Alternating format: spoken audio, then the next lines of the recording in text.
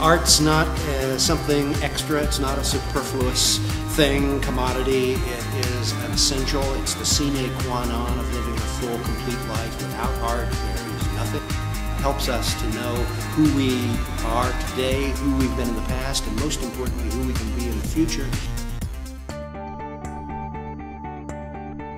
Reaching out to young people in the community is a huge focus of what the Arts Council wants to do and what this building, we believe, can become.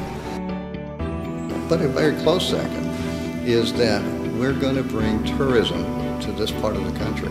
We're going to make this a destination city in, a, in addition to the natural resources and all.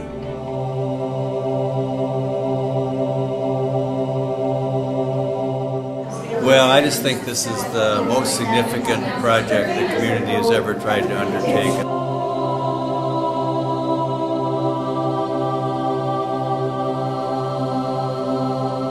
Is that this is a community facility. We need to fill this building with activity and, and, and, and training and education.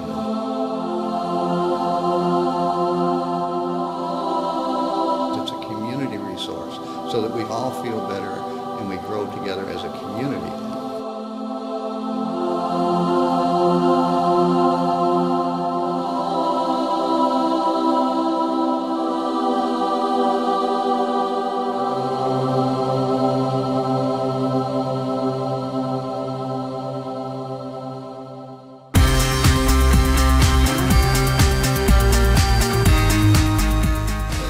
We're reaching out to the entire community saying, come in, be a part of this.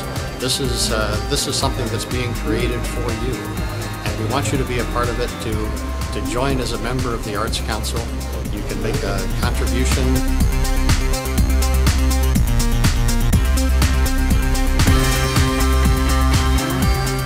Our whole idea tonight was to really create the atmosphere of the future, what this place will be like when it is an arts center. And so we've tried to put on a performance tonight and have art installations tonight and all kinds of activities tonight that will emulate what this place will be like when the Art Center opens in 2008.